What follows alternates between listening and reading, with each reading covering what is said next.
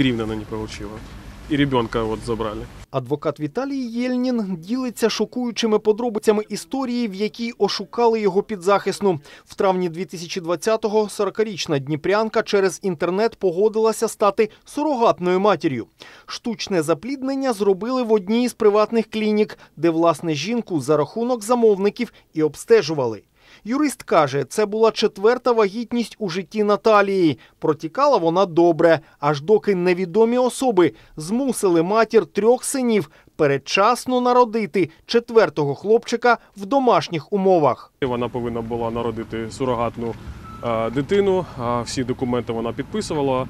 Е, Другі примірники повинні були їй надати після того, як вона народить дитину. Однак е, наприкінці січ- січня приїхали невідомі е, люди, які простимулювали її вагітність, і вона народила дитину. Її забрали.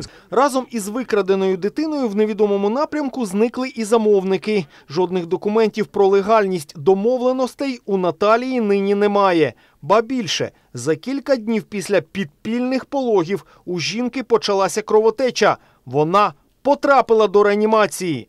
Жінка була у вкрай важкому критичному стані, та якби вони не звернулися за медичною допомогою і їх би не доставили до лікарні е, в ту ніч, то жінка могла загинути.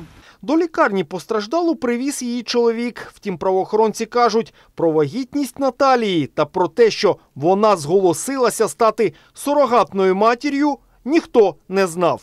Поліцейські поспілкувалися з її родичами про те, що вона е, була вагітна. Вони не знали, тому що вона надавала інформацію, що лікується. Чи можливо не помітити вагітність? Двоє дорослих синів, чоловік і навіть батько Наталії від неприємних запитань на камеру відмовилися. Зараз я поспілкувався з родичами, з чоловіком та батьком е, Наталії. Вони сказали, що не мають бажання поки що спілкуватися із пресою. Тим часом правоохоронці констатують, що породілля, який за сурогатність пообіцяли 500 тисяч гривень, постійно плутається в показах. Жодних імен замовників назвати не може, а номери мобільних телефонів, мовляв, чомусь сама і видалила. І головне, якщо все буцімто легально, навіщо було приховувати вагітність від рідних? Історію з таємними пологами правоохоронці кваліфікували як торгівля людьми, скоєна групою осіб.